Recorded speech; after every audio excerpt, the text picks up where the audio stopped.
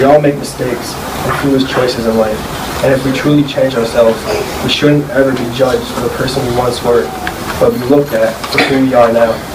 I realize I need to pursue and make better life decisions, be more trustworthy, associate and surround myself with great people, appreciate the simple things in life, and live for the one thing that makes me want to be a better person, my family.